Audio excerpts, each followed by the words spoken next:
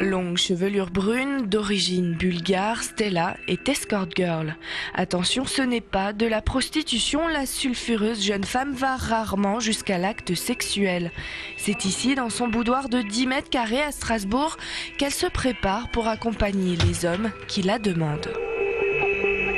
On va au dîner, euh, au déjeuner, voilà, tranquillement, on discute. Il me paye la prestation, c'est-à-dire euh, le temps que je passe avec lui. Les gens, ils ont euh, besoin de discuter. Voilà, de passer le temps avec quelqu'un. On va dire quelqu'un du bien. on discute du tout et du rien. on finit notre dîner. et, ça arrive rarement euh, jusqu'au jusqu'à la fin, on va dire, euh, jusqu'au acte sexuel. Voilà. Prix pour une soirée d'accompagnement 250 euros. Mais attention, quand les clients viennent chez Stella, c'est elle qui domine. 80% des hommes qui lui rendent visite ont un désir absolu de soumission. Cuir, latex, fouet et cravache pour surmonter un quotidien parfois difficile, c'est elle qui commande. Comme il me demande, euh, Stella, tapez-moi forte, euh, ah ben je le donne. Voilà, avec euh, la haine, avec, euh, comment dire, euh, bah, je me mettre en colère et je deviens euh, une vraie dominatrice. J'adore faire la domination, le fétichisme des pieds, les, choses qui sont pas très connues. Voilà. Et euh, bah, la vérité, c'est parce que comme ça, j'ai fait, j'ai pas du acte sexuel avec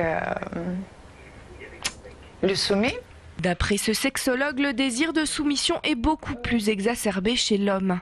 C'est parfois la conséquence d'un manque d'affection. Euh, disons, l'homme qui, qui- qui demande de sa partenaire, si on veut, qu'elle le soumette, si on veut, c'est un, c'est un besoin, si on veut, qu'il exprime, qu'on s'occupe vraiment de lui, qu'on s'occupe beaucoup de lui, hein, au point même de le, au point même de le, de le soumettre, de l'attacher. Hein. Et puis il y a un, alors là il y a cette, euh, frontière un peu floue entre plaisir et douleur. hein. il est sûr que euh, dans, certaines, incontestablement, dans, dans- dans certaines pratiques sexuelles un peu poussées, le fait que ça fasse mal augmente encore le plaisir.